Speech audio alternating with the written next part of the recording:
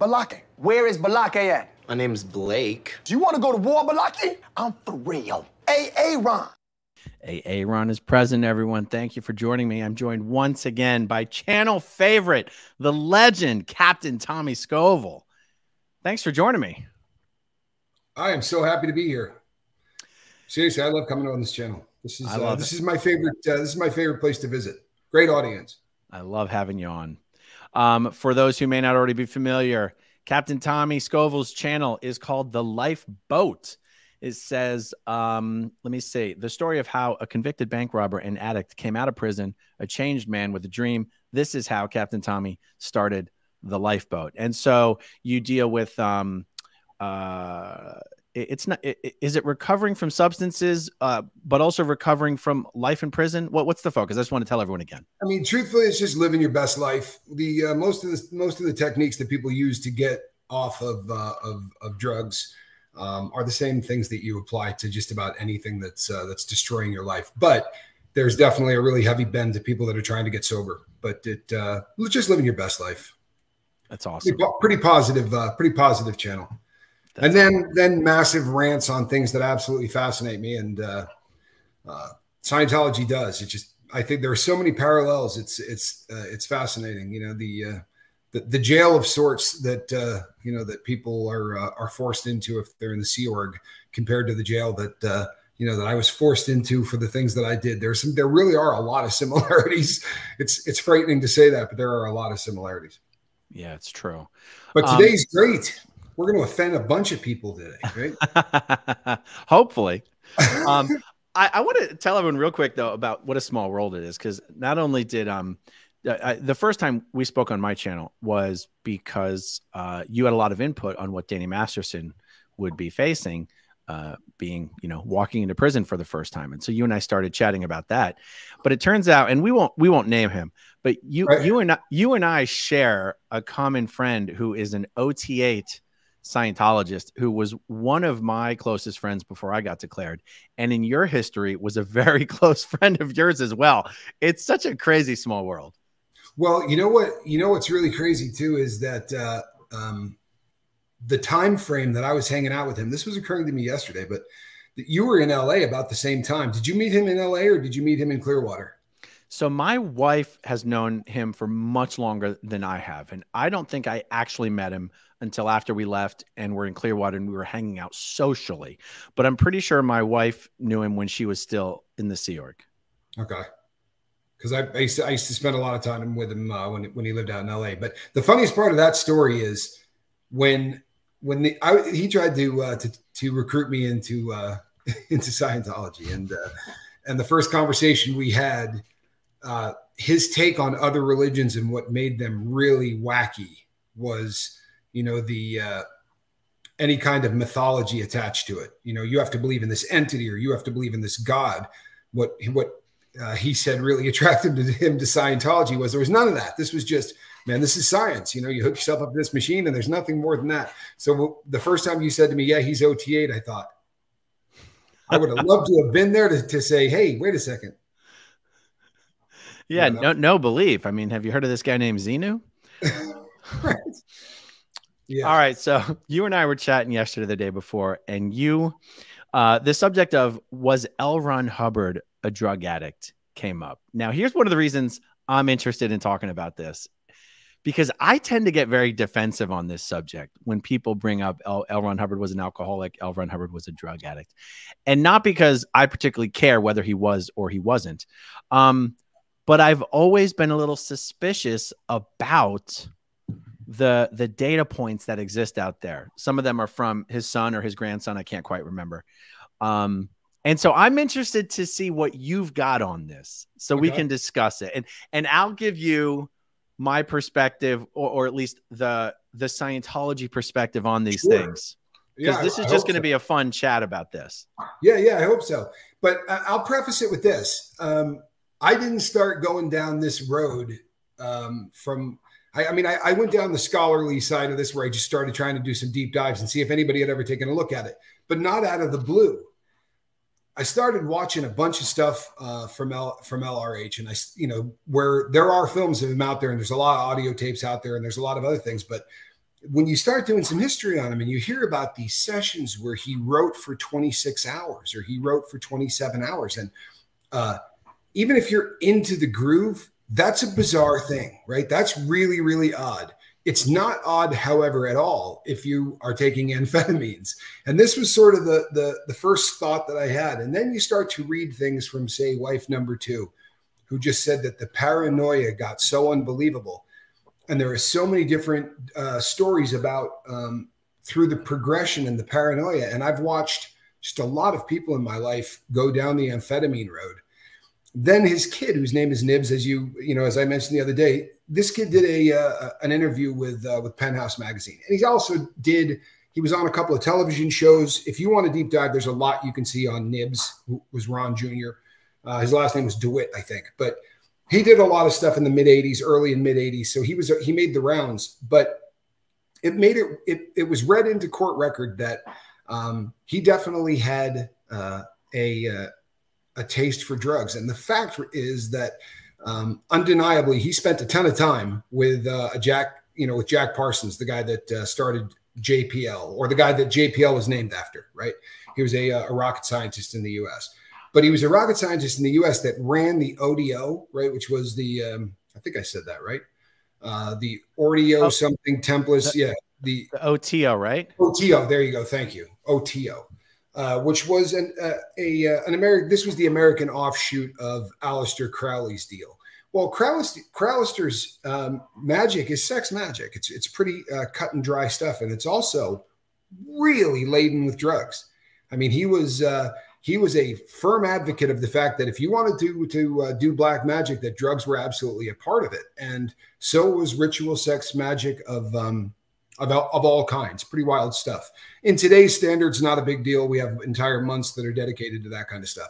But when he was doing it, it was a fairly big deal, and I think it's kind of ironic because of all of the teachings of Scientology when it would come to things like it. But if you go back and it, it would seem very, very odd to me, Aaron, that uh, that this guy would be spending any time with Jack Parsons, period. But it was far more than that. Like he was deep into the sex rituals and uh, and all of those things. And according to his his uh, his kid, you know the uh, the second book, the one that was written after Dianetics. And you know, by by most standards, Dianetics, wouldn't you say that the reason that most people get involved in this uh, in the Church of Scientology is because Dianetics has got stuff to offer? Yeah, I'm to be honest, most people don't get into Scientology through Dianetics anymore. Um, but you know, in the old days, Dianetics was marketed as like a mental science, uh, a common man's psychotherapy. Anyone can read the book and partner up and audit and, you know, get rid of painful traumatic experiences and think more clearly. I think that was its appeal, like back in the early 50s. And then, and then the second book comes out, which is a little bit more um, uh, out there. There's there, there's more elements of uh, of like a religious mythology kind of a thing to that. So I'll tell you what. The second book was called um, Science of Survival. Uh, unless I'm missing one, but I don't think that I am. Science of Survival got more into the emotional tone scale. But I think, I believe the book that L. Ron Hubbard Jr. was talking about, um, uh, where they heavily used drugs, was a book called, I think in the beginning, it might have been called have uh, uh, uh, actually i was about to say have you lived before this life? It used to be called what to audit. But the book that he was talking about might have been scientology a, a history of man. Yeah that's his, uh, yes. By the way just real quick can you just tap your mic and make sure we're still plugged into the right mic? All right that doesn't sound right. Are we going in and out? Just just just do your little drop down menu on your settings for StreamYard and see if it's the right one Hold on a second. It, it says.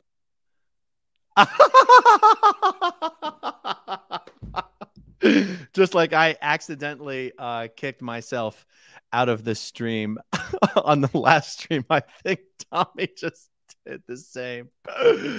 anyway, guys, if you're uh, in front of a computer or you've got uh, a browser window open on your phone, you might just do a Google search for Scientology History of Man.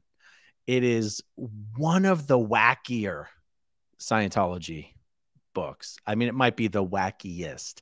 I am pretty sure that um, let me see if Tommy, I'm gonna text Tommy. Uh uh let me know if you need a link. Uh, here he is. Tommy's back. And this is why we're not allowed to have nice things, right? Right here. You know what I mean? Don't don't let me near anything electronic. This says it's hooked up, but it is not. But I'm gonna have to. Uh, That's all right. We'll, we'll I will going. project. How would that be? Since, no, no, no. It's fine. It's fine. It's fine. It's fine. It's fine. But uh, um, okay, go ahead. Yeah. So Scientology: A History of Man is the book that if anyone has ever heard that Scientologists think we've evolved from clams, um, that is the book where that comes from. Well, that that there's some history there too, because in the interview with Nibs, uh, Ron Jr., he said that his dad fed him a uh, a bunch of amphetamines, and he started to basically rant. And he didn't start with this progression going back. He actually started at the clam, like he started talking to, uh, according to him, he started talking to his father about it. But that was the that was the uh, the start, according to the kid. Now, I mean, it's I'm sure that it's fairly easy to uh, you know there are people who are going to discredit the son to be sure, right? But again, if you just look at if you look at the behavior, um, anyone that's I don't like using all of the drug terms for people's names because it kind of, but you know, people use the term tweaking, and this is the most published guy in the entire world, right? And I mean, admittedly, if he wrote, uh, "Hey, this was Ron" on the back of a cigarette, you know, pack, somebody uh, published it so that he would be the most published person on the planet. But he wrote, he was a prolific science fiction writer. And it just, it seems to me like this guy spent a lot of time awake and a lot of time sitting in front of either a, uh, uh, a typewriter or sitting and speaking into something. The, the, the volume of stuff that he created and the amount of time that he was alive, I have a struggle believing this guy wasn't doing amphetamines. Hmm. So the only thing that I immediately think of that, that, that that tends to contradict the idea. Well, uh, let me take a half step back. There's obviously a difference between someone drinking and someone being an alcoholic, or someone doing drugs and someone being a drug addict, right? I just I don't doubt for a second that L. Ron Hubbard drank um, excessively and took drugs in, at various times.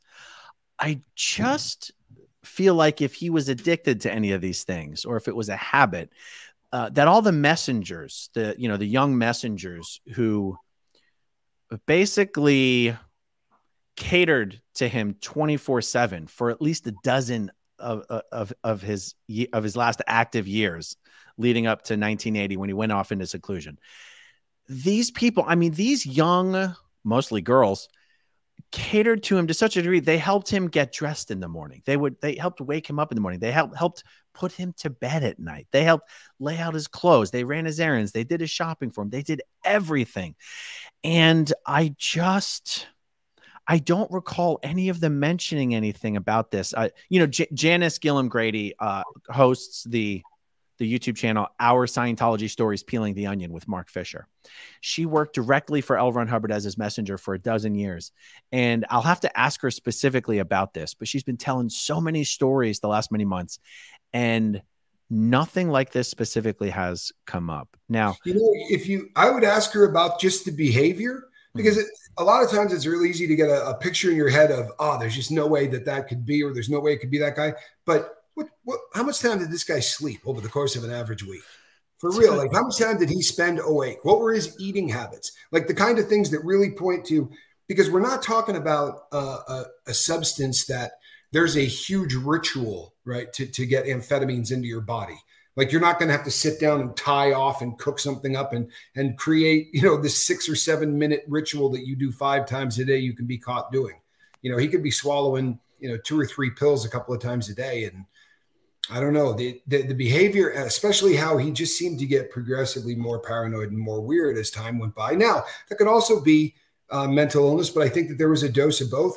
Again, Nib said that um, you know when they when he was asked if his dad did drugs, he said from the age of 16 on, you know that he he did a lot of different and and some of the stuff peyote, um, psilocybin, you know, psychedelic mushrooms. These aren't things you're, you're going to get addicted to in the first place, and these are things he probably. Uh, you know, if you experiment with, you're going to be for the rest of your life. You know, you were a guy that did mushrooms, or you were a guy that did LSD. I think that was probably a time when when people experimented with that. But the uh, the cocaine and the um, the amphetamines that his son talked about was I don't know it, the behavior the behavior matches. Let's say that. Oh, his son specifically said that? His his son specifically said, and I quote, he was asked um, by the uh, the reporter, "Did your dad do uh, do a lot of drugs?" He said, "Yes, since he was 16." You see, drugs are a very important part of the uh, applica- application of uh, full black magic. The personal use of drugs breaks open um, the uh, the door to the deep, and my father was deeply involved. And when he was asked specifically what drugs, he said uh, cocaine and amphetamines mostly, but he did um, peyote uh, and a lot of barbiturates when it came time to sleep. And that is another one of the things that you see with, especially back in the day, you know, people that that used uh, amphetamines as a way to, to to work and build an empire. You know, the uh, the Playboy. Um, you know the uh, the the empire that uh, was built by the founder of Playboy. He said the same thing. He said he was he wrote every single article for the first year, you know, and he would just take um, amphetamines, in his case Dexedrine, and work around the clock, and then he would take barbiturates to go to sleep. You know, when he realized that if he didn't, his teeth were going to fall out, or he was you know losing so much weight.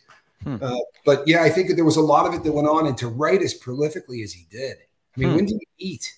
When do you do anything? If he wasn't lecturing, speaking into a machine, or typing. Interesting. So, and throw in Jack Parsons, very odd guy to hang out with. I, I, I think it's it's a stretch to think he was deeply involved in the kind of um, sex magic rituals that that Crowley was a uh, you know the the most famous um, practitioner of. I struggle to think that he was doing the well. I'd like to sleep with these people and screw around with him, but I'm not doing any of these uh, these heavy drugs you guys are doing. I just want to kind of dip my toe into this uh, sex orgy. oh, I have zero doubt about what Hubbard was doing in his early uh, in his early days. Let me think. How old would he have been when? So he was born in 1911. Dianetics came out in 1950. So he would have been 39, right? So I have no doubt that in his 20s and 30s, he was doing absolutely anything and everything he could get his hands on. Um, I, I just have no, I have no doubt about that. There's no reason to believe otherwise. I mean, right?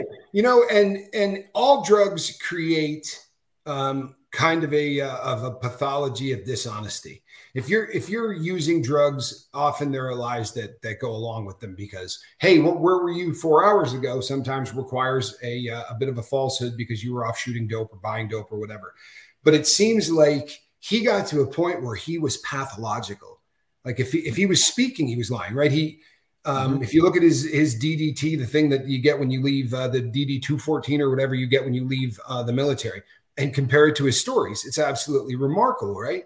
And it just seems like this, in my experience, and I've worked with a lot of people who do drugs, uh, people who don't sleep, the drugs that keep you awake for days on end, um, tend to get really lost and into the deep end when it comes to dishonesty. And a lot of times they begin to believe it. Yes. You know, one thing I do believe that I recall Janis saying is that he tended to work all night and not sleep until the sun came up. Is that in your experience an indicator of of drug use or can you just be on a really bad schedule? Well i mean yeah you absolutely can you know the, the whole circadian cycle thing can get turned on its on its ear. And there are people who work and, and say and i'm that guy. Like if i'm in the middle of doing something I'm, I'm doing a deep dive or whatever sometimes I'll, I'll go for way longer than i should. But um, amphetamines make it really difficult to sleep right? Amphetamines that you know what they do is they speed up your heart rate. They do they do all kinds of things in the body including stimulating the mind and really getting it going. It's not just the physical, uh, you know, aspects of it. It's the fact that your brain is cooking in overtime. But you know, there there's an interview that you can find out there, and it's labeled within uh, a uh, Z E, I mean X E M U instead of N U, Xemu. Mm-hmm. That interview is, uh, and it's L. Ron Hubbard talking. It's his, it's him speaking and telling the entire tale of it. And uh, and if any of you have ever been addicted to uh, amphetamines, if any of you have ever done any any speed drug at all, go listen to this and just tell me your humble opinion. Because when I came across this one, I was like, "This is." And again, I'm not offending anybody because I am in this. This is what I do for for my life. But he's tweaking. If you listen to it, it is. I mean, you can you can hear him pause as he's as he's twisting the lie or backing up to it to, you know, to to tweak it just a little bit. It's an it's an amazing clip. I will. Uh, I'll forward wow. it to you. But, but you it's know, about 20 minutes of it. It is interesting what you say right there because I know people uh, who work in the drug recovery industry and have it, it, almost like the way I can say I can tell if someone's a Scientologist the way they look at me when I walk by them. Uh-huh. the the people I know can tell if someone's on any type of a drug just without, without a problem in a second. Without and so the reason why I think what you're saying there is really interesting is most Scientologists I know do not have drug histories or major drug histories. And so if L. Ron Hubbard in his lectures and whatever was exhibiting symptoms of that, it would just go right over their head. They right. would have they would have no idea. Although our friend the OT8, I'd love to talk to him. He would never talk to me, but I would love to talk to him because he had he had history. I guarantee you he knows. That that's one of those uh, that's one of those things that he absolutely would have come across. The problem yeah. with fixing watches is there could be 200 of them that are beeping and you never know which one it is. okay, I wanted to bring this comment up so that I could say something about it. Juliana Bittencourt, the scientologist. I love it. Jul- I know Juliana. Um, but how reliable is Nibs though? Not saying it isn't true. Just take anything Nibs says with a grain of salt. So this is worth just commenting on. Again, I'm more interested in your personal take on how L. Ron Hubbard sounds combined with yeah. what Nibs says. The problem with Nibs is he's one of these guys, kind of like Marty Rathbun, who went back and forth. Back and forth. He, yeah. he was out, he was in, he was out, he was in. When he was out, he said everything I said when I was in was a lie. When he came back, he said everything I said when I was out was a lie.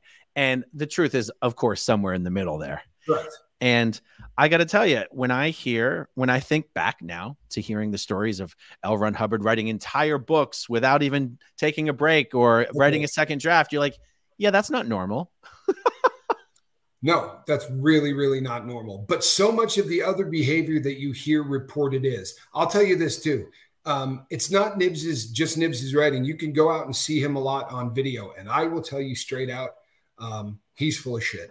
Like he's he's one of those people that when you watch, um, he's he's he's slimy. He's one of those people that you know I've met a million people like him, and you watch him, and you do you don't get that you do not get the vibe that that um, he is probably a guy that you can count on, and I, I and I will absolutely throw that out but I think you take it as as part of a of kind of a mosaic. Um, again, you know, the the longer you're in, especially with amphetamines, especially with cocaine, any of the drugs that uh, keep you in, um, you know, for, as you stay addicted to it, the longer you stay in with the drugs that keep you awake, the more paranoid you get, the more the more kind of bizarre the uh, thought processes. And I work with people, you know, every every week where a guy calls me who hasn't slept in six days you know, and he's getting ready to get off of this stuff. And it's it's difficult for a person to uh, to articulate. But if you find those people whose brains cook on it, you know, I mean, those people who can absolutely sit down at a typewriter, the uh, the stuff that comes out of their head is bizarre. And it seems to me like think think again, uh, Aaron, from this point of view. Is there anything he didn't write about? I mean it. Like if you're a Scientologist and you say, "Well, I've got a beef with Aaron because uh, he stole a shovel from my house," they're, they're always like, "Don't trip." LRH wrote on the, "What do you do if the neighbor steals a shovel? I'll go get it." Right? It's I almost mean, this guy wrote about down to the details of the right way to clean a window, the right way to dust, the right way to feed a baby. Um, I, I mean, uh, the it, it was crazy. Nothing further.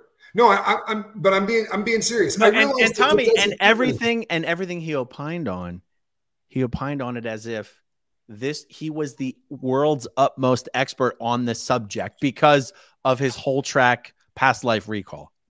And I'm glad that you said that because if we track back the whole life recall, there was a guy that worked for him. What the heck was his name? Armstrong. Does that sound that ring a bell? Jerry Armstrong.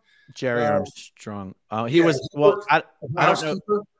Well, Jer- Jerry Armstrong became he was going to be L. Ron Hubbard's biographer. Um, I don't remember if Jerry Armstrong actually personally knew L. Ron Hubbard, but I could absolutely be wrong about that. Well, he's the one that found apparently, or he he was there with the crew that found Excalibur uh, one and two. Was it Excalibur? No, the Black Sword. What the hell is it called? Yeah, Excalibur, the Dark Sword. But the this was the book that L. Ron Hubbard wrote that if you read it, your genitals fell off or something like that. It was, it was pretty heavy stuff. You didn't just you, you couldn't take reading this lightly. It killed everyone that read it. Did you hear this? That's what L. Ron Hubbard said. You'd go crazy just reading the manuscript, but I don't think the manuscript ever really existed. Well, apparently, this is this is a claim from. Let me see here. I can I can almost footnote this. Um, the the documentary is called Secret Lives, 1997 UK from okay. the UK. Right. Um, and uh, they do a thing on LRH, and then they talk to this to a person. Apparently, they, there were uh, two different versions that they say were found among his estate, but also among his estate is something that that made reference to you know when he died on the uh, at the while getting a filling. I don't know what he was doing. I'm being I'm being a wise guy. That was that wasn't that's not cool. I, I think he there was some story of him having some dental procedure and he left his body and he obtained some secret knowledge or some shit like that. Yeah. Have you ever done nitrous oxide by any chance? No, but I've heard you can have that experience. Okay, because I've done a grip of it. Like I uh I have spent many, many, many a night hooked up to not just nitrous oxide, but nitrous oxide cut with oxygen so you could breathe it for longer periods of time. And one of the effects of nitrous oxide is that you do lose your, your equilibrium. So as you're sitting in the chair, you feel that, you know, you, you, you sort of left and it, uh, it definitely leads to, but apparently there was some, uh, some documentation according to Jerry Armstrong in this documentary that, uh, he came across some things that referenced um, the fact that it probably wasn't death as much as it was nitrous oxide it's it is a uh, it is a documentary worth reading. But once again, I will I will chalk up nibs. I, I'm willing to chalk up a whole lot of things that you say.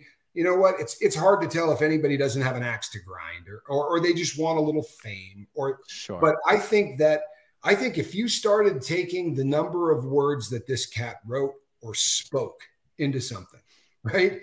and just do the the the words and start dividing it into the number of minutes that this man spent on the planet and i defy you right to say that this guy averaged two or three hours of sleep a night that is an unusual behavior for people who are look i mean if you there are people who go through cycles right there you know i i've uh, seen people often who, who self-medicate and when they stop you know they go through two or three weeks of uh, of you know, sort of really that manic kind of they can do anything. And then there's the big crash afterwards. Now, Nibs could be lying, but Elron certainly uh, spent a lot of time hanging out with people that did um, that did drugs, you know, that were into it. Yeah. And certainly the guy who's the guy whose girlfriend he stole and ran away after a business deal and yeah. the uh, his relationship with Parsons is fascinating. He, uh, well, I'll tell you what. I'll, I'll, tell you what. Real, and we'll get to Jack Parsons, of course. Um, there is a letter. I've seen this letter widely reported on, and for the life of me, I can't remember if it's a letter that he wrote to Mary Sue Hubbard at some point, or if it was a letter that he wrote to his second wife that he claims to have never had. And it it talked about um, basically I'm surviving on rum and popping the the the pinks and the grays. Second and, second wife the second wife. And the pinks and the grays obviously refer to some sort of medication. Any idea what that might have been? Like just um, you know, it's it's funny because um, there's a really good chance it's obviously an upper and a downer. Like I bet the farm on that, right? You know, it's the and it was a, a popular thing at the time. Pinks in that day and age it would probably have been Seconal or Tuinal, the which was a, a barbiturate and he was apparently fond of barbiturates. So the pink, I would almost be willing to bet was uh, either Seconal or Tuinal. But depending on where the letter was uh, was written from, you know that gets confusing too because once you leave the U.S. border, it's the same drugs, but they all have different names and they're in different colors and all of that. But um, but I would imagine it was like you know um, something to take you up and something to put you to sleep. But yeah, that uh, that letter that uh, that the woman that didn't exist actually has uh, released um, kind of a series of his stuff, and it is handwritten too. So I don't know. I'm I'm sure that they could be documented if somebody wanted to. Yeah. Um. Okay. so just verified it. He didn't have a second wife. I know he never. Had. All right, Laura FM, uh, good friend Laura, Laura Anderson here says, okay, question. Has anyone heard Ron doing LSD and witchcraft during writing the OT levels and on many pills medication, psych drugs when his body was dying. So it has been widely reported um, on his coroner's report. There was a drug in his system, and I feel like I always say it wrong. It's either Visatril or Vistriol. I can't remember. Some people report this as a psych drug. I've seen it reported as an antihistamine. I've seen it uh, reported, uh, discussed by some who were personally familiar with the matter that it was for his allergies or something. Uh, are you familiar with this drug, even if I'm saying it right? Visatril, um?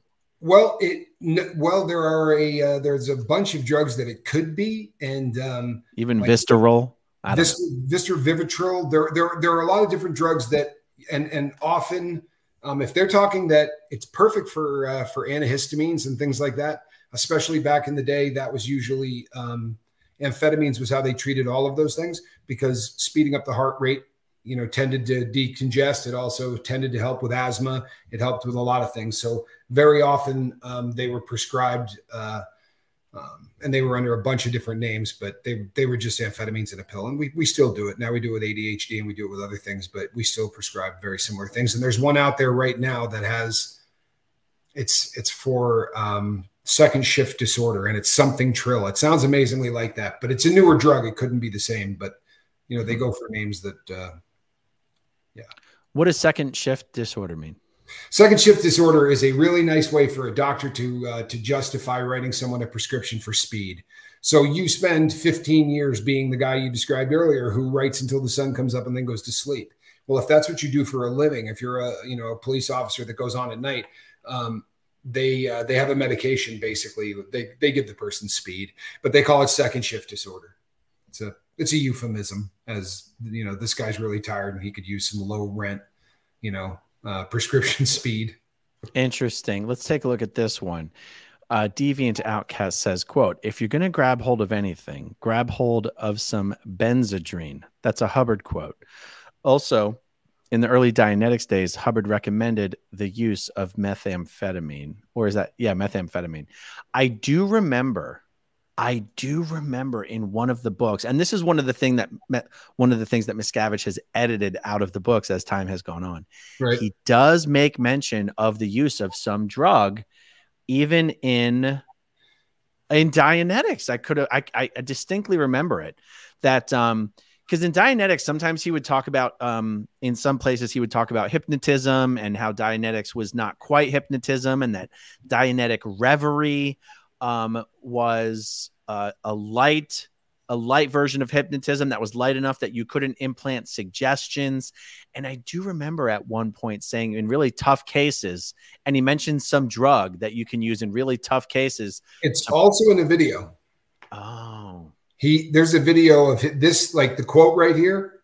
I I saw this and I didn't read it. So I saw I saw a, uh, a quote that said, you know, if you got to get a hold of something, get get a hold of some Benzedrine. And Benzedrine used to be um, very available in the U.S.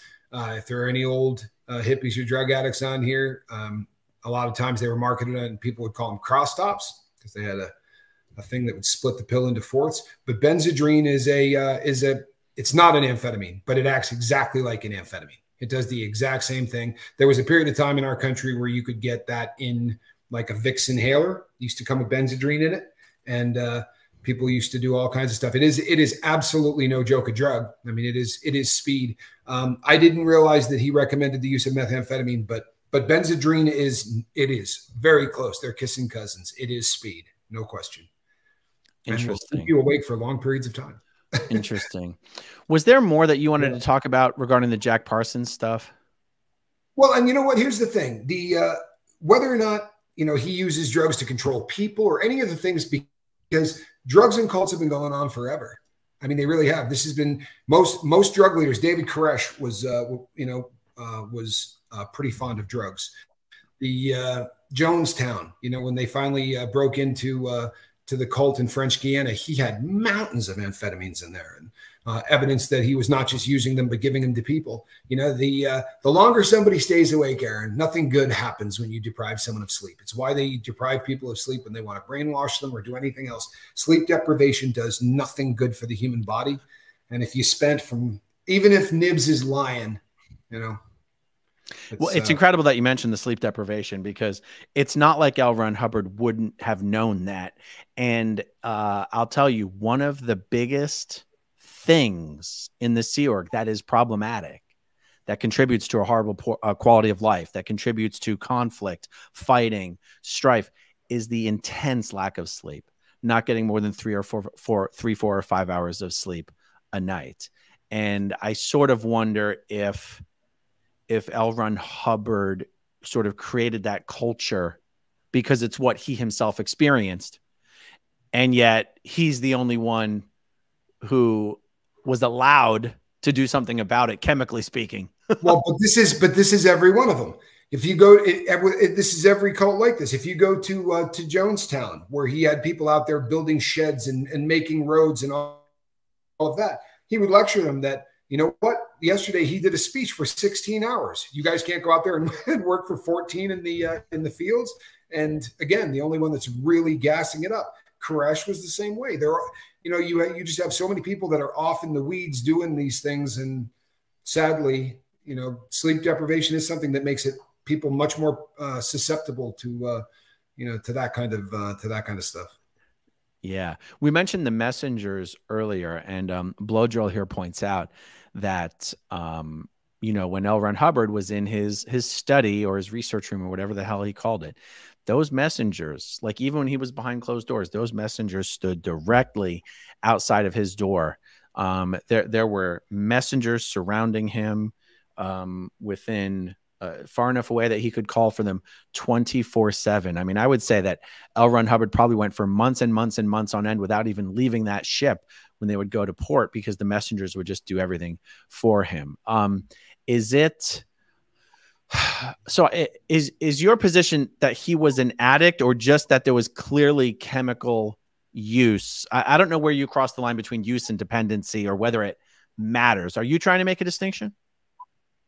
Um you know in in, in this case i'm not. The uh I'm, I'm where I, I draw the line is when you have hideous events happening in your life, right? When when when chemicals are causing really bad things to happen, and you still cannot stop doing what you're doing, you're probably addicted.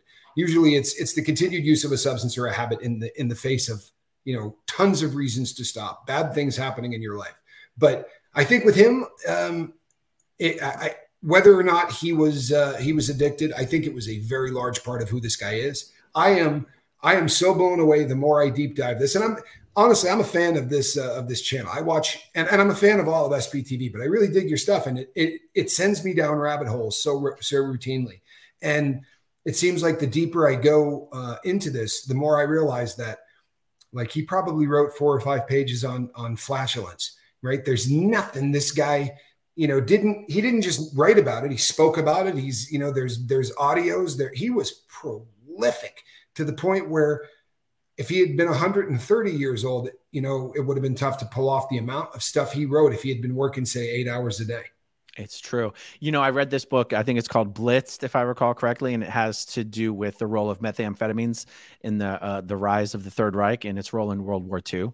Oh yeah, incredible how much the soldiers in that war, particularly on Germany's side, were just pretty much on methamphetamines the entire time, and yeah. and the lack of sleep, the lack of sleep is part of what destroyed those soldiers, and yet the the worse it got, the more they had to take. Well, and if they were in pain in any way, shape, or form, um, they were using a painkiller that they had also the Nazis had invented called Dolophine, which was uh, turned out to be uh, methadone, and it had you know three to four times the uh, the half life of any other of uh, of the opiates that, that had ever been made at that time. So it was a cocktail. Once again, you had guys just walking around you know what I mean?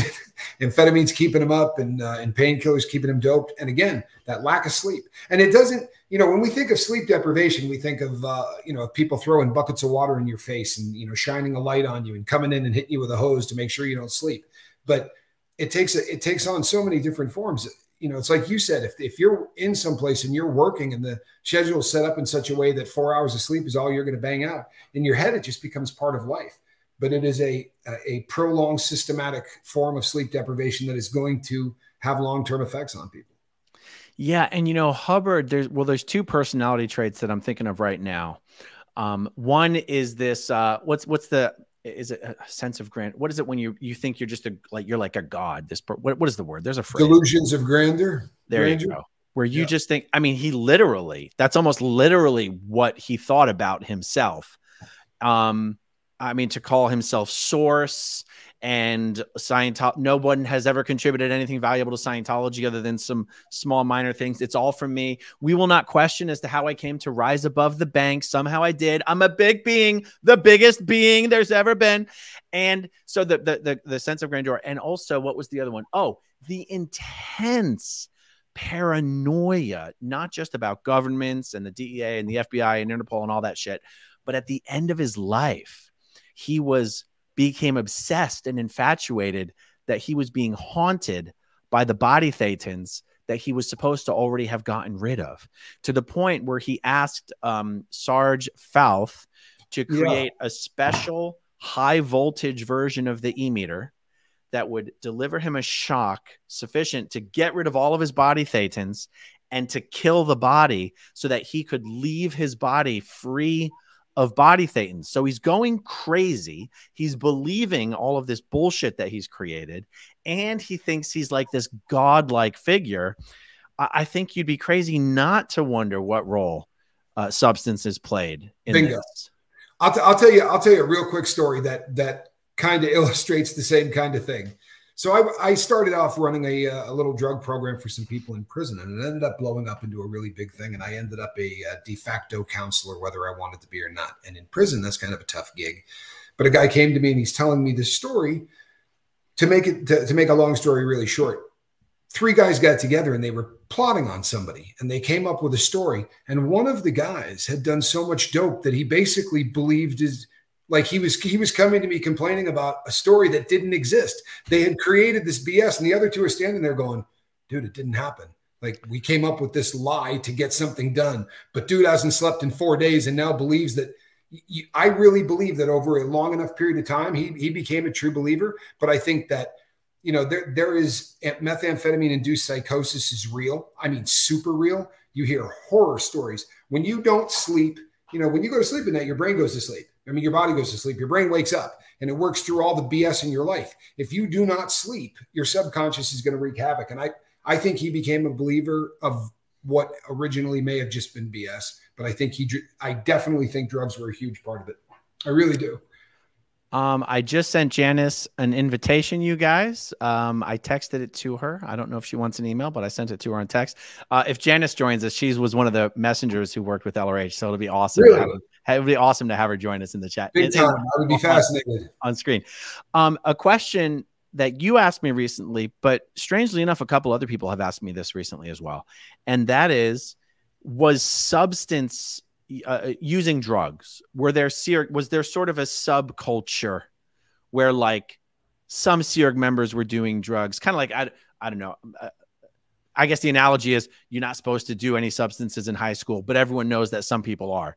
People right. ask me is was that in the Sea Org and my answer was like no no no no. I mean I've never even heard uh, uh, of such a thing happening. Now people drinking? Sure. That's I mean anybody, technically speaking, drinking is not against the rules in Scientology. I've never heard of a Sea Org member getting busted, you know, smoking weed or doing pills or anything. Oh, this is one of the things I wanted to ask you.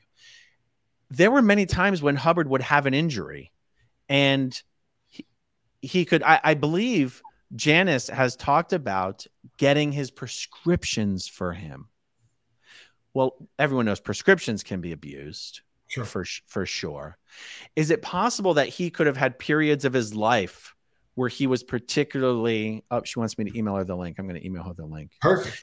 This is where I guess I'm trying to understand where the line exists, if it even matters, between usage and addiction, or can you be acutely addicted and then come off, and then be addicted again and then come off? Well, I just it's this this gets kind of confusing and it's it would be a long show but what what science is finding out now is this.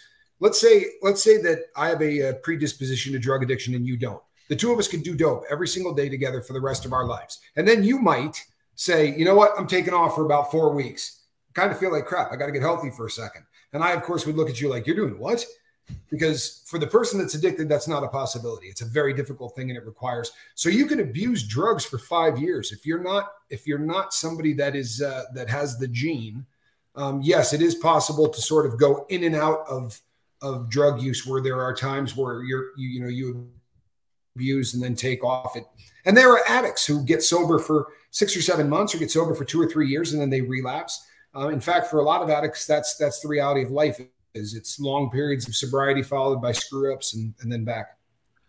Right. Did we get her? So it's possible. Um, I just sent her the email. She'll she'll be here. So it is possible that LRH was someone who, let's just say, didn't have the gene, and he could abuse, take or abuse substances for a lengthy period of time, and then come off of them without. Um, what's the difference between when a true addict, someone who has the gene, as you put it, a true addict tries to come off a substance versus someone who isn't? what what it comes down to is, and I think it's fascinating because it kind of goes hand in hand with everything that you talk about. But the the difference comes down to the feeling that that the drug addict has. We we are uncomfortable in our own skin, and we seek out ways to make that go away. And there's a million things that cause that discomfort. And you could you could run them parallel, right? One person goes into an org, feels uncomfortable in their own skin. They tell somebody that. Now there's somebody sitting across from them that cares, right? It's the same thing with the drug world. All of a sudden, there's this substance that makes you feel comfortable in your own skin and there's a whole group of people who are doing the same substance and now you have your own language and you have your own culture addiction and and joining up whether it's a cult or a church a legit you know church or cult or anything else they those they kind of run hand in hand. But for an addict they're going to feel uncomfortable in their own skin to the point where it drives them back unless they get help. Hey janis. Hey everybody. Hi oh. aaron. Oh your mic sounds fantastic. I'm so excited. Oh good. And i've got little earpieces too. Nice. Nice. Okay, so Tommy, I'd like you to meet Janis. Janis, meet Tommy. Janis, it's an Tommy. Okay, so Janis, tell Tommy how old you were when you started working as a messenger for L. Ron Hubbard. Is that your dog, Janis? Years. Two of them. Wow. Yeah. That's amazing. They'll, they'll quiet down. They're, they're labradoodles, big boys. So you were how old? 12. Oh my goodness. Okay, and so you and so you were worked as a messenger for L. Ron Hubbard for was it eleven or twelve years? Eleven years. Um, I came on the ship at eleven years old. I just turned twelve when I became a messenger, and that was in 1968. And I was on the ship until 1975 with Hubbard every single day, except maybe a Liberty, six hours a day. Wow. Along with my, there was four of us. We covered six hour watches a day. That's 24 hours. And wherever he went, we went. And then we got more messengers to the point there was three messengers with him 24 hours a day. And we had a logbook and we logged everything he did. What was his sleeping schedule? He normally would secure around three o'clock in the morning He'd go to his cabin. He might read a book or something. He'd get some sleep, maybe around five, six in the morning. Sometimes eight, he'd get up, go in session, and then go back to bed. And he'd get up around 11, 12 o'clock. Sleep. So he would audit himself on three or four hours of sleep? Yeah, usually about five hours, depending would, on his schedule. And he would sleep until noon. It seems to me like yeah. that would be hard to do on a ship, but what do I know? Um, did so? Uh, uh, uh, uh did, uh, how how commonly did he have any like prescriptions that he needed to take? The only time I know he got his prescription was um, after the motorbike accident. Uh, Laurel Watson got a prescription from the local doctor in Madeira and I'm not sure if he actually took it or not, but that's the only time I was aware of it. And I know later on at the end of his life, when he was at Creston, I know my sister, as the ED of ASI, she had to get some prescriptions filled. Hmm. So after but in between all that, yeah, but in between all that, no. Hmm. Uh, by the way, for those watching, Janis's YouTube channel is Our Scientology Stories peeling the onion, where uh, she and Mark Fisher talk about all the amazing stories uh, from the old days working with L. Hubbard and, and also under David Miscavige. So check that out. Um, okay, so Janis, uh, you, are as familiar as anybody is with the references, particularly in the early editions, first editions of these books, where L. Hubbard talked about using some sort of uh, drugs if necessary in Dianetics therapy sometimes. Do you remember um, all the stuff that L. Hubbard Jr. said about uh, being on drugs when ma- making up the incidents for um, History of Man. Do you, does what do you know about all this? Well, it's all just what Nibs says. I don't know how true that is. I was not there. Did you ever? But let me say, did I ever meet Nibs? No. Yeah, no. But and why and why is that? Why is that? Nibs was gone, I think, in '59, and uh, I showed up at Saint Hill in '66. Didn't Nibs then parents, come back, or or he'd already no. left the second time in '59? Yeah, he did not come back. No, I mean in his lifespan, wasn't he estranged from L. Ron Hubbard and then yes came back? Okay, yes. but that but that was only one time. He didn't then leave again and then come back. Not that I'm aware of. Okay. Okay. But you know, a good book for that would be um no um Go ahead, Janis. Ben, ben Corydon's book because he wrote that with Nibs and Sarah. Oh, wow. I've never heard of that book. Yeah. Do you know what it's called? I can look it up. I have it. yeah, I'd like to know the name of that. Oh, Messiah or Madman, L. Ron Hubbard. Oh, yeah, okay. yeah, yeah, yeah. Yeah. Bent wrote Ben met Hubbard on the ship very briefly when he was there for the OEC FEBC. And he actually had the largest mission in Riverside. And later on, he wrote this book with Nibs and Sarah. So that's the closest to what I know of Nibs having written, besides that penthouse interview he did, that I know when it came out. I remember Mary Sue going into Hubbard with it, and she was pissed off. She was pissed off at, at LRH. No, at Nibs. Oh. and also, I believe the Guardian's office uh, got Nibs to not want his name on this book because uh, they got all over him. Sure, sure. So, Janis, back in the old days, um, yeah, and I guess to me that's anything before 1980 was because that's when I was born. Yeah, yeah, okay. Was was drug use either on the ship or later in Scientology one of these things where it's like, yeah, no one's supposed to do it, but it happens. Okay. I was born into Scientology. Drug use did not happen. I have never even had an aspirin. And that's how I was raised. You just didn't have it. Yeah. And then at St. Hill, I saw no drug use. And I even asked Ken Urquhart, who was LRH's butler at St. Hill and his personal communicator, and he never saw any drugs. Hmm at St. Hill with Hubbard, and he was he was serving him food and cleaning his room and all that kind of stuff.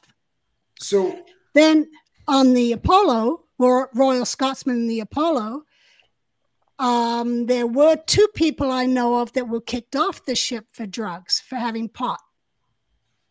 And that was John O'Keefe and Baron Berets. Oh, damn, shots fired. But um, Hubbard, Hubbard himself did not. Now, there was policy that said no drugs or alcohol within 24 hours of going in session. Since there were no drugs on the ship, we people did drink. We had parties and people drank, but they didn't drink if they were going in session the next day. Right.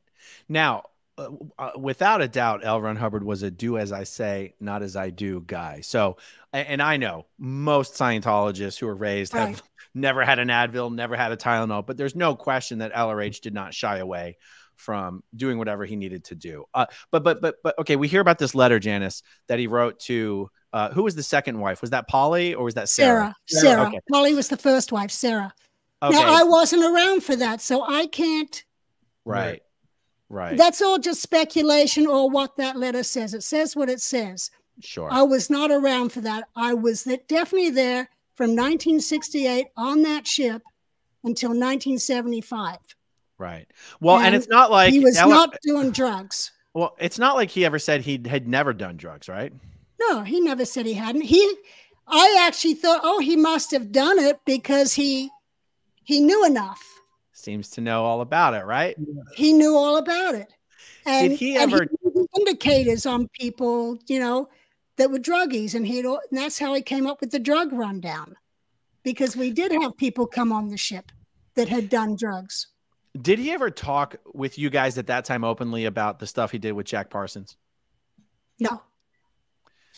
You know, but, and, and and I mean and I mean this literally in in in zero disrespect, but my like my son is um is um 20 no, I'm sorry, my son's 30 now. And I remember when I when you know, I, I had finally sat down after after coming out of prison for bank robbery and sitting down and talking to my son and apologizing and going through all of it. But I was doing seven grams of heroin a day. I was robbing banks. And my son lived in that house. And until I got caught, had no clue. I said to him, you know, the things that you saw, he said, I don't know what you're talking about. Because I think that I think very oftentimes it's, you know, it, it's astounding what what kind of uh, of drug use can be um, how easy it is to keep drug use from people. I mean, it really is, and I'm not okay. I'm not doubting your experience at all. I'm not. I'm just when when I when you read and you you hear about these long sessions that he would sit out on the boat and uh, and tell the stories to everyone, and if you just start chunking up the amount of time, the guy must have typed twenty five thousand words a second. Like he, you know what I mean? Like he had a, he really was so prolific. It just I find it staggering.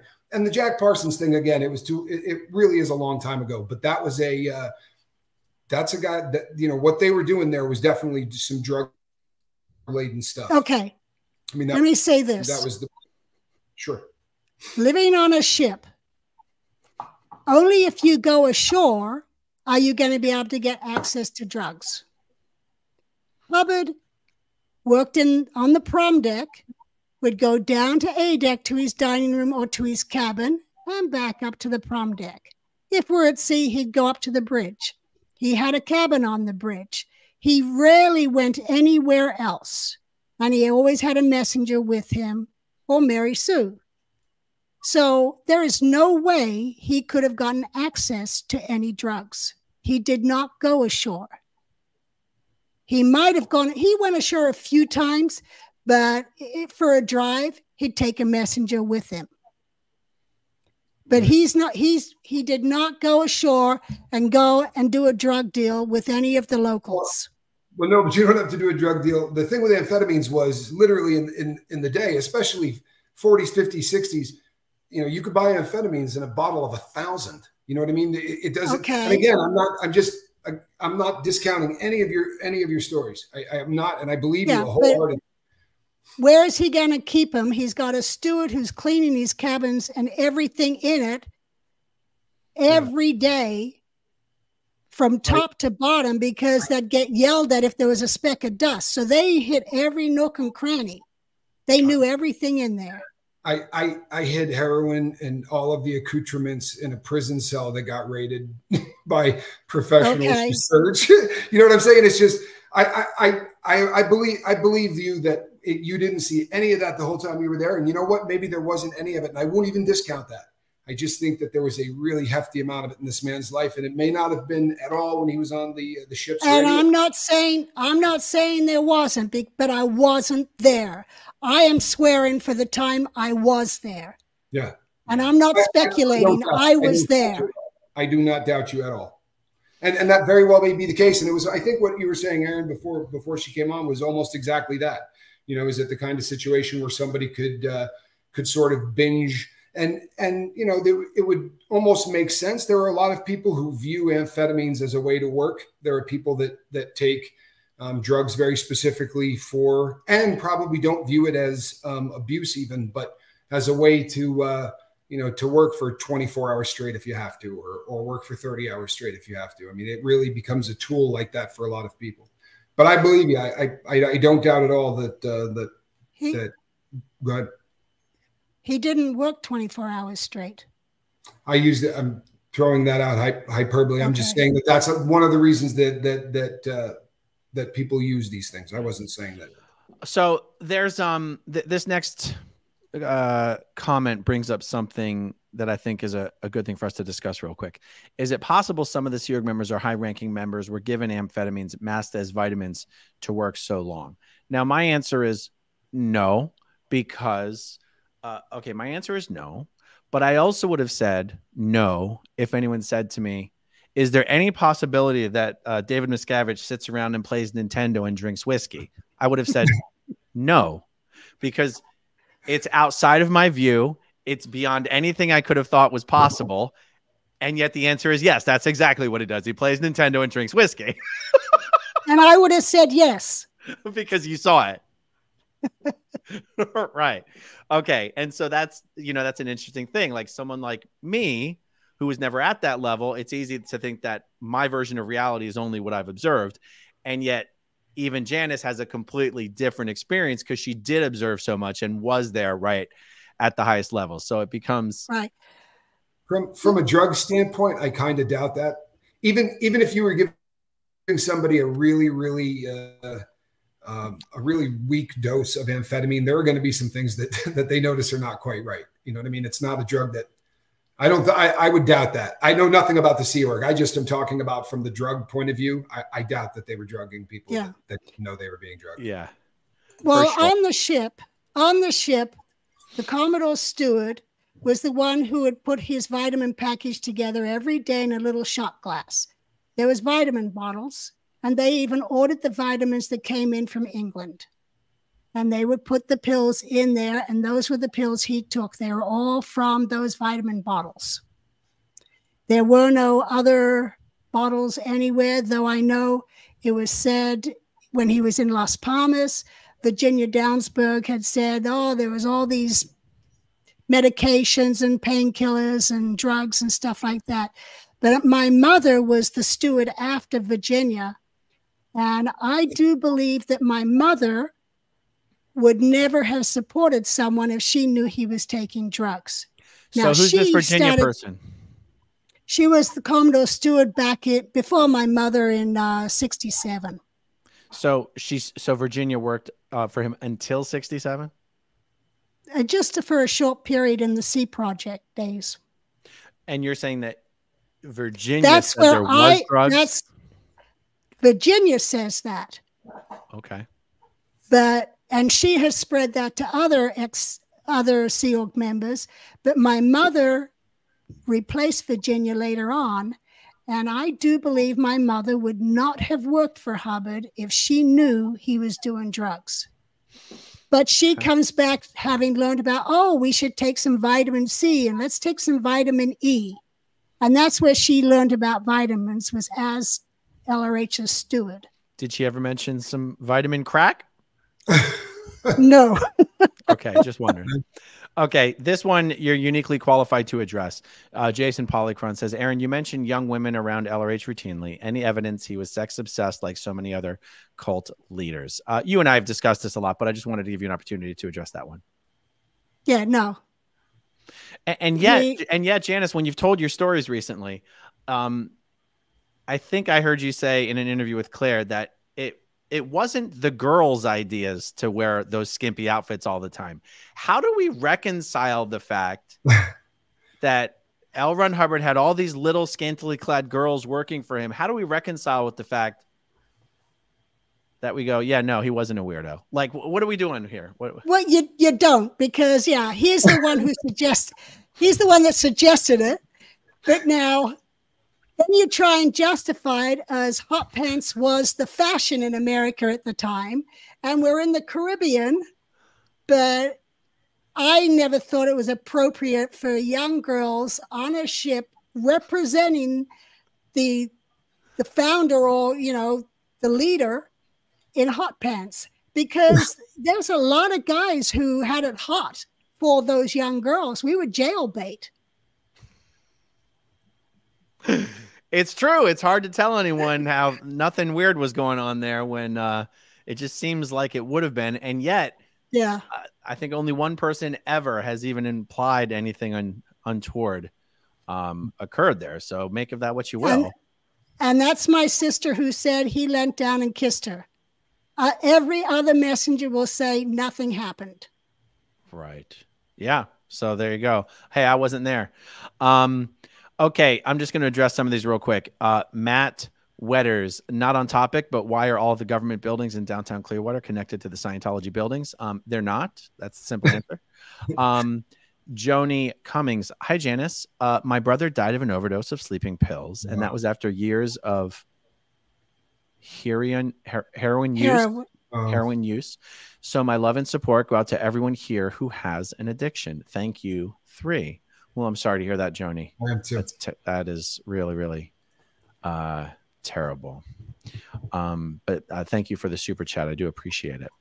Let me see here. Um, okay, Lisa Marchbanks, Dragonfish Handmade Goods. Tommy, have you thought that maybe Hubbard was an auto writer? Auto writer? Is this a real word? Do we know what this is? I'm not sure I know what uh, what that is. I'm gonna Google it real quick. He, he was he was certainly very very prolific. Um, yeah. You know he uh, he's the most I believe he's the most published man in history. Is he not? Isn't that a Guinness Book of World's Record? Yeah, but it's something like because they translate a lecture into 20 languages, it counts as 20 titles. It's some stupid shit. It was well, just. A- well, however, I read, I uh, I got into a cell once, and uh, the previous person who lived there uh, left in a hurry, and all of his possessions were left behind. And he was a um, a very big fan of uh, of Hubbard, just from a um, sci- a sci-fi writer, and uh, the I, I read the books, and there was, I mean, an absolute ton. And when I got to the end of them, I was like, wait a sec, this isn't all of them. And I started reading the list of all of the other ones. Like that man wrote a lot. He definitely wrote a lot. Yeah. They also went back and I'm pretty sure they took every magazine story he ever wrote in his early days and published it as a book, you know, that kind of stuff. Um, okay, let oh, me see. Aaron, Aaron. Yeah. yeah. All his lectures, those were what were made, those were what were the books he did lectures and they put them into the books. Like which book, for example? Most most of his books, he'd do a lecture and then they were compiled into books. But like not Dianetics. Sit, no, but he didn't sit there and just type up a book. Those so books were compiled so, from lectures. So like even fundamentals of thought. I I couldn't name the specific ones, but a lot of them were all based off lectures that were compiled. Interesting. Um, Carol Sujasayan says, What about all those smut novels he was writing at the last? She's, of course, referring to the Mission Earth Dekalogy, which I got to tell you, I've read those things three times. I'm a big fan. So am I. I read those books and I was I was embarrassed reading them, thinking, "Oh my God, he wrote this." I can't back that up. I just thought it. Would, I thought it would be funny. I, I uh, that that's part of the uh, stuff I haven't read. In fact, I didn't know about until just recently. But uh, I'm gonna have to check that. So, Janis, I'm actually really surprised that um, L. Ron Hubbard didn't talk about the Jack Parson, Aleister Crowley stuff more because he certainly seemed to be quite proud of it when he would mention it on some of the St. Hill Special Briefing Course lectures. So Tom Working says Parsons did have a strong connection with Aleister Crowley, but Crowley frowned on his efforts and thought Hubbard was an idiot. It's true, and he never met Crowley; he only knew Jack Parsons. But Tommy, what were you saying that? The, the Jack Parsons stuff, there might be a pretty good reason why Hubbard didn't want to get into too much details about that, right? Well, yeah. I mean, it, it, again, for the for the times um, that that were that was in, if you, um, I'm not I'm not digging into deeping. I mean, I, I'm not big into diving deep into black magic, but the uh, the stuff that uh, that Crowley did was um, the the very basis of all of it is sex, you know, and uh, and every variation of sex you could possibly come up with, and that was what uh, you know Parsons was practicing in uh, in California around the time that um, that he was hanging out with uh, with LRH, and apparently up until the time that they did a business deal together that didn't uh, go according to Hoyle. You know, there are different stories for how that ended, but uh, Parsons said that um, that LRH robbed him and took his girlfriend and uh, the money for a deal that he was uh, that he was doing. I don't know the. I haven't researched any of the veracity of that. That's just how the story goes out, and I'm sure that there's two sides to that. But that's that was Parsons' take on it.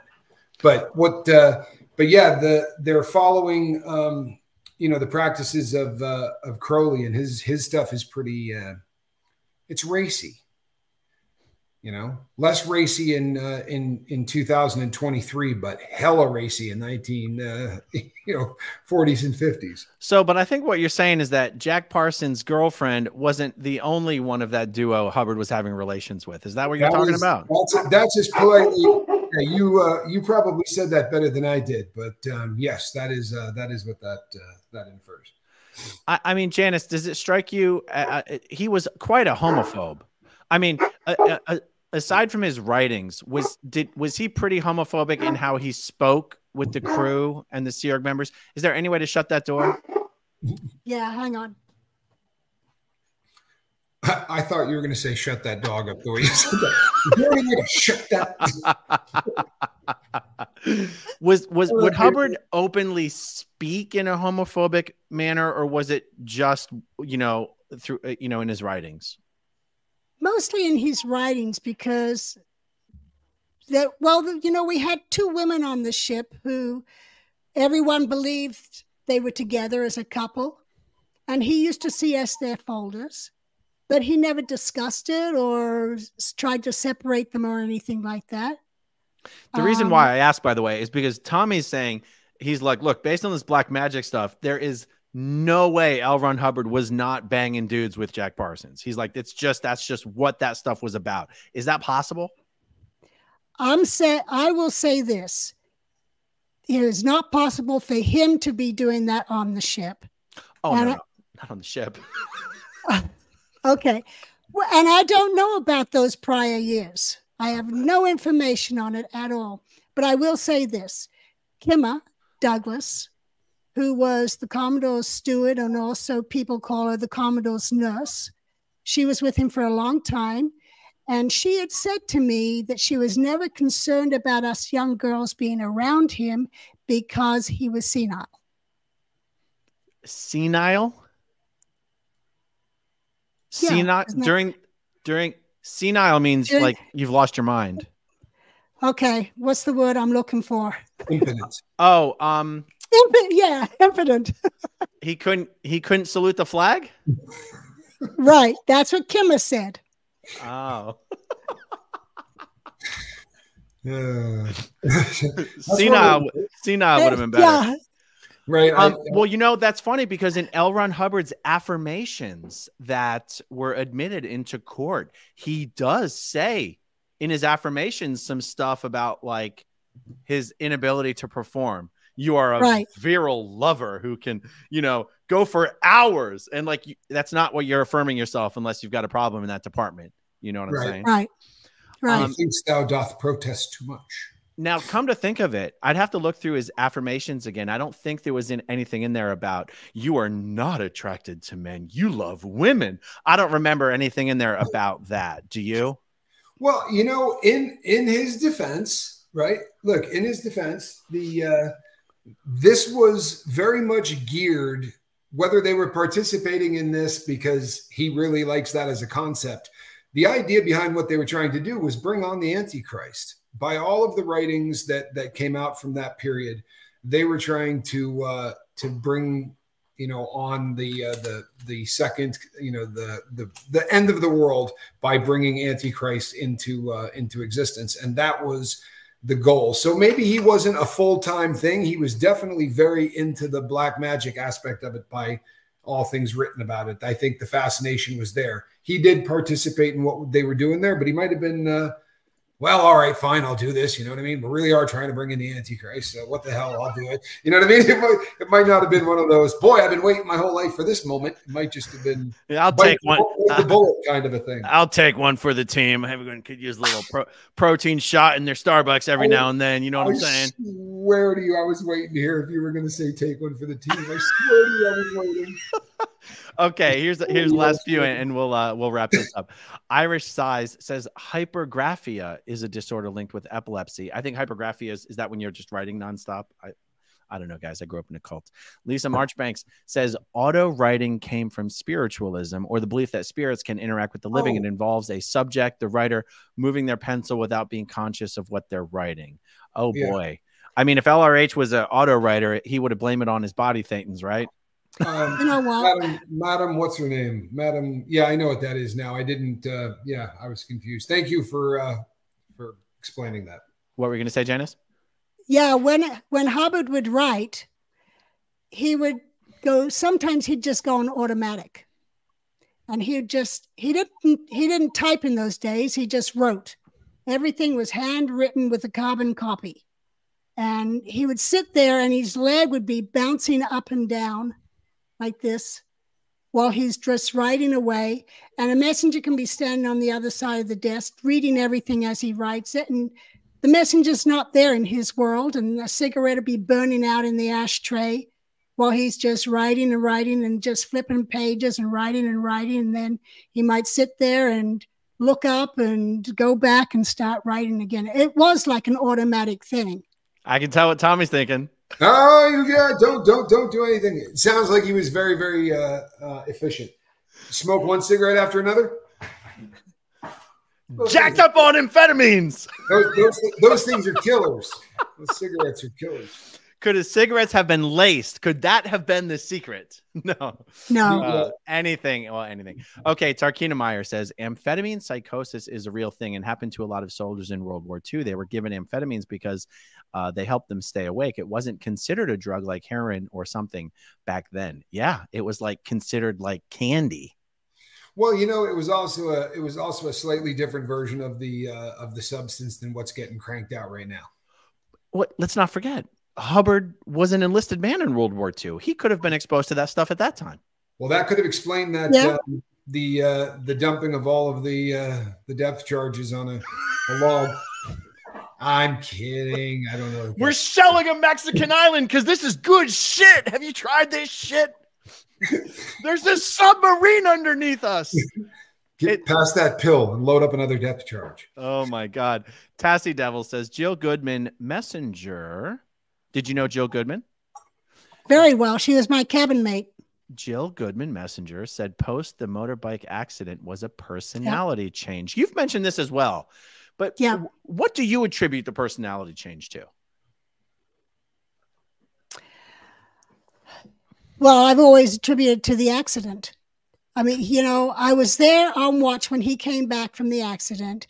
He had been told that morning that he was not allowed in Spain, so he was pretty upset about another country that he can't enter. And after that, he, well, he was in a lot of pain in his cabin. And I've told the story about the red chair, and he couldn't sleep, and we'd have to tie him into the chair so that. Janis, it's a little wilder than I thought. This now, now the truth is coming out. Now the truth is coming out. He wasn't that senile, was he? I'm kidding. I'm what kidding. was that prescription he had again? it wasn't Vivitrol's Viagra. It wasn't Dick Okay. okay. He couldn't sleep because if he laid down, he hurt. So we got a red chair out of storage and he'd we'd lower him into the chair and then we'd put cotton padding around the chair for his arms so that it was comfortable. And um, you know how when you fall asleep sitting up, your head kind of sometimes knocks back? Mm-hmm. It would mm-hmm. do that, or it would knock forward. So it would wake him up. So then we had this bright idea, and we got a scarf, and we tied his head back like this. So LRH was on the nod. Let me get this straight, right? So in drug lingo, we would say LRH was in there, right, on his pain meds and on the nod, right? And you guys strapped him with the headband. Yes. Please tell me there's a photo of that somewhere. No, there isn't. Oh. But, but you know, would would stay in there until he fell asleep. And one day, oh, we had a tripod for his arm to be hanging in. one day there's three messengers and they're sneaking out. They're sneaking out of the cabin, and the last messenger kicks the tripod. Oh my God. It was like all hell broke loose. and then it's okay, then you have to start again, putting him back to sleep in the chair. Oh my God. You know what? That the the subscriber you have that has the SPTV uh, tattoo there's your next tattoo. L- LRH sitting there, arm on a tripod, right? Head, Head tied, tied. on a big red chair. That is a tattoo waiting to happen. Oh, I'm sorry. Gosh, that's, that's funny as hell. Though. That really is. That is really. I gotta awesome. tell you though, so, that makes that makes LRH just seem so much more relatable. I got to be honest. He's just one of the boys Human, getting tied, right? getting tied to a chair by a bunch of Bunch of exactly. young women. Crazy. Please tell me you got a please tell me you got a Was Sharpie this? and then drew things on his face when he fell asleep. It sounded a lot no. like my college days. You're like, sounds like Tijuana. No, we were on a ship. oh, Lord Almighty. That is funny. But you know what? It sounds like the uh, the ship was a good time. Every time I hear anybody talk about it, it sounds like the ship was a good time. you know, the fun was had by all. Yep. It's one of those crazy things, right? If you if you hear soldiers talking about their their time at war, you might think it was a good time as well. Because sometimes you just make the best of it, man. You do. You make the best of it. You know what? That that's a phenomenon that I find fascinating because I, I will I will go about my life and I will do whatever I do, and there are long stretches where I forget the fact that I was a, a drug addict and a uh, and a criminal, and then I'll run into somebody who says, "Oh, I was in the feds," and you go, "Really? Where where did you do time?" and and in two seconds that you just sort of fall back into kind of lockstep and it's and it's always the joking stuff and the laughing about it. And it was hell. It really was. But the, by the time you're done and it's over, the funny stories are the ones that sort of that last because the other yeah. ones are too depressing to tell. Yeah, yeah. All right, well, let's wrap it up, guys. Before we uh before we do, let me remind everybody, uh Janis's channel is our Scientology stories, peeling the onion. And let me see if I can get back to Tommy's. Tommy's uh channel is the life boat. I'm still shocked that you were able to actually get that that handle at the lifeboat. It's amazing. Um, right. Both channels are absolutely fantastic, guys. Uh, go over there and and and check them out. Janis, thank you for joining us. Tommy, as always, thank great. you. Such thank a pleasure to meet you, Janis. That was great. Aaron, thank you. you Always fun. All right, guys. Thanks for watching. Thanks everybody who Bye. watches until the very end. We'll talk to you soon. Okay, if you want to see my rock and roll songs, right on this guitar. And if you want to see an a different one of my videos. Uh, oh, then you could click right inside here. If you have subscribed or not, subscribe right here. Bye.